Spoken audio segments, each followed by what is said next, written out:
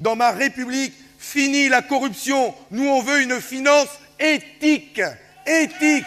C'est ça que l'on veut pour notre pays. Je crois dans une France du travail, des bons salaires et des bonnes conditions de travail. Je ne crois pas en une France du chômage et du RSA. Que je veux mettre fin, oui, à un système qui fait aujourd'hui, qui nourrit le chômage par les allocations chômage et par le RSA. Je suis le seul à défendre le revenu issu du travail plutôt que le revenu issu de l'aide sociale. Le 19 mai, il y aura un rassemblement de, policiers à Paris, euh, devant l'Assemblée nationale. Vous y serez? Oui, je souhaite y être. Donc sur la peine de mort, vous seriez capable d'accepter un référendum? Mais, mais bien sûr. Infractions spécifiques pour les violences contre les policiers et gendarmes. Oui, des infractions spécifiques afin de bien montrer que quand on s'attaque à eux, sous quelque forme que ce soit, les sanctions seront graves et elles seront fermes. Ah, Je suis respectueux des cultures, euh, des traditions, de notre histoire, de certaines pratiques.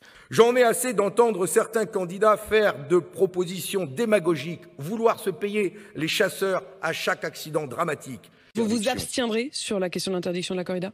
Non, je voterai contre l'interdiction de la corrida. Et puis, vous savez, j'en ai un petit peu marre, moi, ah. de ces euh, intellectuels condescendants qui, qui, n'arrêtent pas de nous donner des leçons sur nos pratiques, sur nos manières de faire, qui nous disent ce qu'il faut manger, comment il faut conduire, euh, les pratiques qu'il faut avoir. Interdire, interdire, interdire, cela, ils n'ont que ce mot à la bouche, interdire la chasse, interdire les voitures, interdire la viande, interdire les sapins de Noël, le Tour de France, bref, interdire tout ce qui est populaire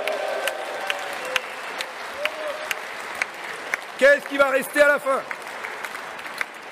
Qu'est-ce qui va rester à la fin? J'entends l'angoisse, moi. J'entends l'angoisse de citoyens aujourd'hui euh, qui euh, euh, sont d'origine étrangère, qui sont musulmans et qui ont peur, peur d'être renvoyés chez eux. Si les usines ferment, si nos hôpitaux sont en difficulté, si Bridgestone a été délocalisé, c'est pas à, faute de, à cause de l'immigration massive. Ils ont signé des traités de libre-échange à tour de bras, ils ont transformé nos frontières en passoires. L'ennemi, ce n'est pas l'immigré, l'immigration massive. Quand on ne bénéficie pas du droit d'asile, on a vocation donc euh, à rentrer chez soi.